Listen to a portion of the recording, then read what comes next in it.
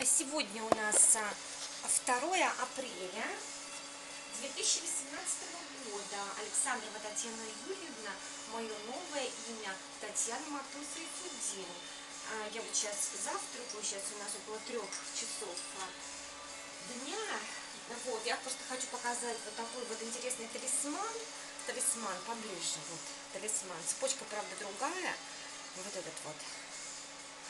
Очень интересно. Обратите внимание, грани у него и с одной стороны, и с другой стороны. Так вот, мне этот кулон привез Переданский в подарок мой бывший муж, когда он катался на лыжах а, с Майклом Биглом.